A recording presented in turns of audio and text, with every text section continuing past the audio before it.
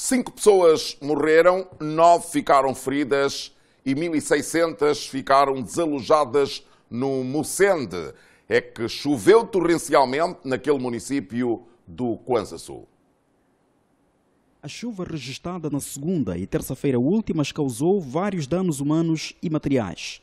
Dados oficiais da Comissão Municipal de Proteção Civil dão conta da morte de cinco pessoas, quatro das quais da mesma família.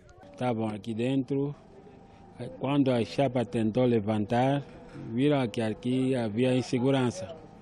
Então tinham que sair daqui, dessa casa, para um quartido que fica, um quartido que está lá. De repente surgiu um, um relâmpago e atingiu os mesmos três. De danos humanos não é tudo. Esta menina, que recebe assistência no Hospital Municipal de Mocende, faz parte de um grupo de nove feridos vítimas da chuva. Nessa altura está a comportar-se bem e o História foi transferido para o Hospital 17 de Setembro. No domínio material, os prejuízos são igualmente avultados. Foram destruídas 334 casas e um total de nove escolas foram parcialmente afetadas, deixando mais de 1.600 pessoas desalojadas e cerca de 2.500 alunos sem aulas.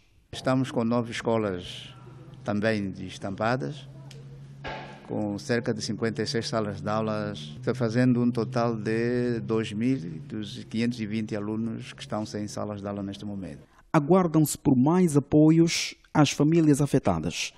Entretanto, as primeiras ajudas já começaram a chegar. Neste ato foram distribuídos bens de primeira necessidade para acudir à situação.